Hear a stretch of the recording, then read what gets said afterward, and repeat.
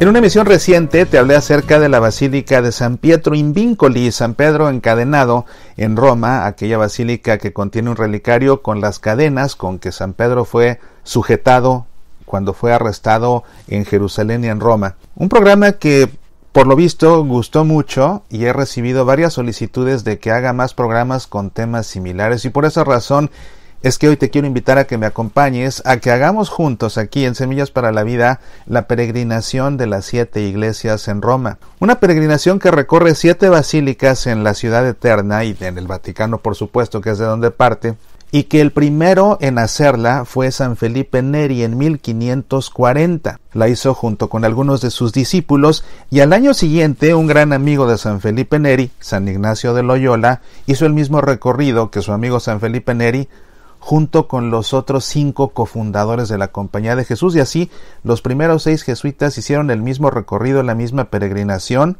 y cuando en el recorrido llegaron a la Basílica de San Pablo Extramuros, ahí fue donde hicieron su profesión perpetua. Diez años después se le dio gran impulso en el marco de un año santo a esta peregrinación y ya para 1559 está bien organizada, bien establecida. Originalmente era una peregrinación que se llevaba a cabo en dos días, en miércoles y en jueves santo, y que recorre siete iglesias o siete basílicas porque el siete es un número que tiene gran simbolismo en el pueblo de Dios, es el número que representa la plenitud, así como los días de la creación en el libro del Génesis, así como los siete milagros o signos que realiza Jesús en el Evangelio según San Juan, o sus siete palabras que pronuncia desde la cruz antes de morir. Nada que ver, y eso tiene que tenerse claro, nada que ver con las siete iglesias que menciona el libro del Apocalipsis a las cuales les fueron dirigidas siete cartas. Eso es un tema aparte y coincidente. Pero estas siete iglesias no están relacionadas con esas siete otras del Apocalipsis. Así pues te invito a que por un momento cierres tus ojos y te imagines este recorrido. Es un recorrido que tal vez tú dirás, bueno, siete iglesias, si piensas en tu visita de las siete casas que tal vez tengas la costumbre de hacer en jueves santo y que la haces caminando, recorriendo iglesias cerca de tu casa, déjame decirte que esta peregrinación, que actualmente se suele hacer o en Viernes Santo o en Sábado Santo, es una peregrinación cuyo recorrido mide 20 kilómetros y se hace a pie en un día. Comienza a las 7 de la mañana y termina a las 7 de la noche. Por supuesto, hay quien puede hacer trampas si tú quieres o en razón de tiempo, sobre todo si se encuentra de viaje, lo puede hacer empleando el transporte público y recortando el tiempo y no caminando tanto, pero hay muchos que hacen esta peregrinación tal cual dictan los cánones y así es como la vamos a hacer aquí.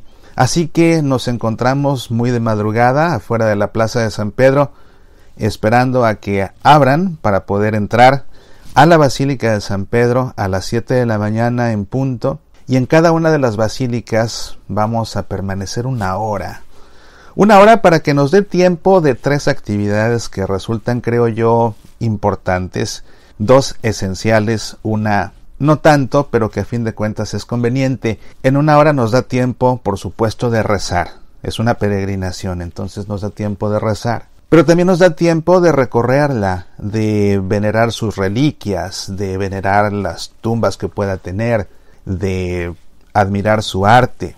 Y también nos da tiempo, ¿por qué no?, de visitar la tienda de artículos religiosos que tiene cada una de estas basílicas, porque siempre habrá alguna estampita, alguna medallita, algo que quieras conservar como recuerdo de tu peregrinación. A mí personalmente me gusta comprar un rosario en cada lugar a donde voy de peregrinación. Así que una hora por basílica es tiempo suficiente para no hacerlo con prisas y claro, algunas son tan grandes que ameritan regresar después con más calma y dedicarles medio día a cada una de ellas, como es el caso de San Pedro, que es donde comenzamos. Por supuesto que ahí veneramos el sepulcro de San Pedro, que se encuentra debajo del altar, Salimos alrededor de las ocho y nos dirigimos a la siguiente estación que es la Basílica de San Paolo Fuori Lemura, la Basílica de San Pablo Extramuros, que déjame decirte que a nivel personal esa es mi basílica favorita de Roma, esa es la basílica que a mí más me gusta de todas. Me gusta por su arquitectura diferente, su arquitectura románica, me gusta las palmeras que tiene fuera, pero en el recorrido, pues es de mañana, hay mucho que caminar, así que nos conviene en los seis kilómetros y medio que vamos a recorrer en más o menos hora y media hasta llegar a, San Pablo Extramuros, detenernos por ahí y desayunar rápidamente. Será ocasión de tomar un buen capuchino, un capuchino verdadero, o un café latte, o si quieres hacer como los romanos, un espresso hasta doble para poder tener energía para todo lo que nos espera. Tal vez lo acompañes esto con un panino que te alimente. Y llegamos caminando a la Basílica de San Pablo Extramuros. Por ahí de las nueve y media de la mañana contemplamos la estatua de San Pablo en el jardín con las palmeras. Entramos y vemos que es inmensa, nos sorprende su tamaño, nos sorprende que no hay bancas y vemos alrededor de la nave cómo aparece toda la galería de retratos de todos los papas. Y no podemos dejar de pensar en aquella leyenda, en aquella legendaria profecía de que el día que ya no quepa un papa más ahí será el fin del mundo. Pero nos damos cuenta de que ya se les terminó el espacio no una, sino dos veces y que en consecuencia han seguido pintando retratos de papas por debajo. Así que vemos que todavía hay espacio para que puedan pintar a muchos papas más. Por supuesto que necesitamos venerar la tumba de San Pablo que se encuentra aquí en la Basílica de San Pablo Extramuros. Salimos alrededor de las diez y media de la mañana para dirigirnos a la Basílica de San Sebastián que se encuentra a cuatro kilómetros. Esto nos tomará unos 50 minutos. Vamos a llegar a San Sebastián por ahí de las once y media. Por supuesto que en el trayecto nos irá dando sed en múltiples ocasiones, pero la gran noticia es que en Roma el agua de las fuentes es potable, así que vamos a saciar nuestra sed bebiendo directamente de los chorros de las fuentes una y otra vez. Vamos a estar en San Sebastián, vamos a salir de ahí alrededor de las doce y media y tenemos que hacer el último trayecto largo hasta la siguiente estación que es la iglesia más importante en la iglesia católica, incluso más que la Basílica de San Pedro. Se trata de la Basílica de San Juan de Letrán. Está a cuatro kilómetros, vamos a hacer unos 50 minutos caminando, pero dada la hora ya es tiempo de el almuerzo. Así que no perdamos tiempo deteniéndonos en una tratoría a sentarnos a comer, mejor detengámonos a comer una buena rebanada de pizza al taglio. A mí me encanta, por ejemplo, la pizza de anchoas. Tú puedes pedir tu pizza favorita. La podemos acompañar con una botella de Fanta de naranja en honor al Papa Emérito Benedicto XVI, sabiendo que es su bebida favorita. Y finalmente llegamos por ahí de las 2 de la tarde a la Basílica de San Juan de Letrán. Es la iglesia, te digo, más importante. De hecho, es la catedral del obispo de Roma. Es la razón por la que es la iglesia más importante de todo el mundo católico. Es una iglesia dedicada a San Juan Evangelista y a San Juan Bautista. Pasamos ahí una hora y saliendo no podemos evitar ahí en la plaza de San Juan de Letrán atravesarnos a mirar la escala santa, aquella escalera que trajo Santa Elena de Jerusalén, que fue la que subió Jesús en el pretorio y por la cual hoy se sube de rodillas. Sin embargo, no nos detenemos a hacer este ejercicio, ¿por qué no? Porque realmente subir esa escalera y en otro programa lo hacemos es una experiencia físicamente muy dolorosa y las piernas ya las tenemos muy cansadas y todavía nos falta por caminar. Así que regresaremos en otro día a ver la escala santa, pero por lo menos ya la vimos por fuera y sentimos ese escalofrío en el alma de, de contemplar un lugar tan sagrado, tan sagrado como lo que estamos a ver ahora. Apenas a unos 800 metros, unos 10 minutos de caminata, vamos a llegar a la siguiente estación, que es la Basílica de la Santa Croce en Jerusalén.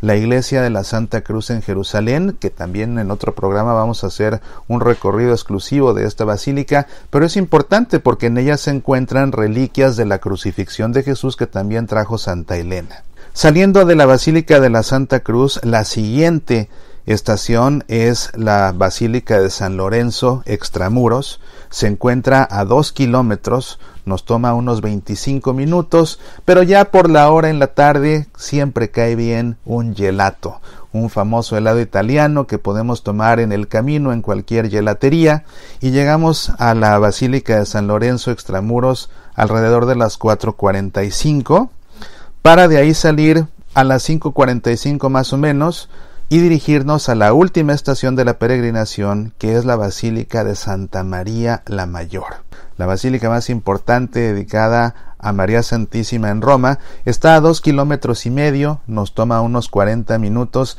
Vamos a llegar a Santa María la Mayor por ahí de las seis y cuarto. Vamos a permanecer ahí en oración y visitando también la basílica para salir como a las 7, 7.15 y a esas horas buscar un buen restaurante donde meternos para cenar y conversar sobre nuestras experiencias del día. No sé tú qué pedirás, mi plato favorito es el espagueti a la carbonara y lo voy a acompañar con una botella de agua mineral, pero voy a pedir un vaso con hielos porque aquí en Roma tienen la costumbre de siempre servir el agua mineral al tiempo y siempre sabe caliente. Espero que este recorrido por las basílicas de Roma te haya gustado y si tienes oportunidad de visitar la ciudad eterna, no dejes de considerar hacer esta peregrinación. Es un día entero, es un día cansado, pero es una experiencia de fe inolvidable. Soy Mauricio Pérez, estas son Semillas para la Vida.